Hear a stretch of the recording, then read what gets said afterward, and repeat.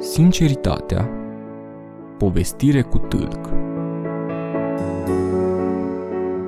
Dragi suflete de copii, în timpul unui război, viața era tare grea și oamenii sufereau de foame.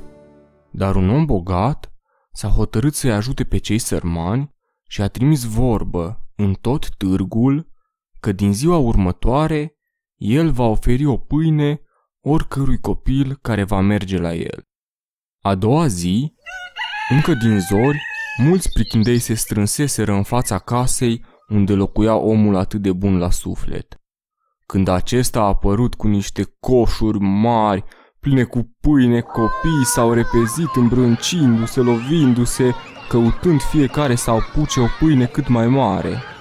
Fiecare cum punea mâna pe câte o pâine, o și lua la goană, bucuros, fiindcă prinsese o bucată mai mare. Era acolo o hărmălaie...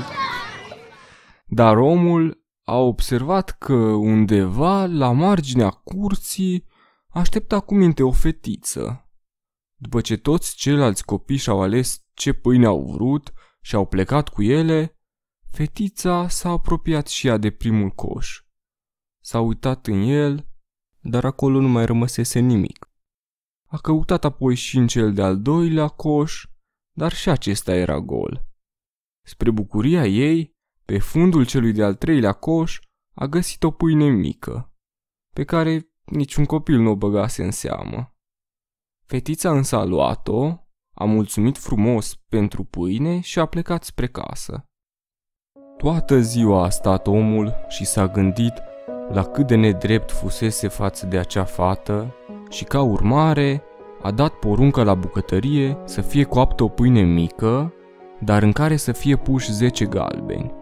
Apoi, dis de dimineață, a așezat pâinica deasupra celorlalte pâini și a ieșit iarăși cu toate coșurile în curte, unde copiii deja se strânseseră și așteptau nerăbdători. Din nou aceștia s-au repezit și s-au luat la harță pentru a prinde o pâine cât mai mare. La sfârșit, fetița noastră, care așteptase cu minte ca în ziua precedentă, s-a ales tot cu pâinica cea mai mică, care era și singura rămasă. Și de această dată i-a mulțumit frumos omului și s-a grăbit spre casă unde mama ei o aștepta. Când s-au așezat la masă și femeia a frânt pâinea, ce să vezi? Galbenii s-au răsturnat pe masă din aluatul proaspăt copt. Vai, ce să fie cu acești bani? Dacă banii au ajuns din greșeală în pâinea adusă de tine, poate i-au căzut brutarului în timp ce frământa aluatul. Iai și dui imediat înapoi. Fetița s-a întors la casa omului și a dat acestuia toți banii, spunându-i cum mama ei i-a găsit în pâinica primită. Privind-o cu drag, omul i-a răspuns. Draga mea, banii aceia nu au ajuns întâmplător acolo. După ce am văzut ieri cum ai avut răbdare și te-ai mulțumit chiar și cu mai puțin, am hotărât să te răsplătesc. Astăzi am văzut și cât ești de cinstită, fiindcă ai fi putut păstra totul. Dar tu mi-ai adus banii înapoi. Uite, drept răsplată, de azi înainte, în fiecare dimineață când vei veni să iei și tu o pâinică, vei primi și câte zece galbeni.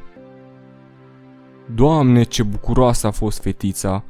Nu știa cum să-i mai mulțumească omului pentru atâta bunătate.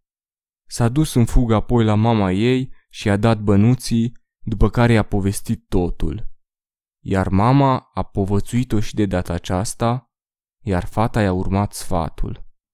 Așa se face că de atunci, în fiecare dimineață, când primea galbenii, fata se ducea în mijlocul celorlalți copii și împărțea cu ei toți bănuții. Știa că și ceilalți au nevoie de milostenie la fel de mult ca și ea. Ați ascultat povestirea cu tâlc Sinceritatea Au interpretat Dorin și Nora Pușcaș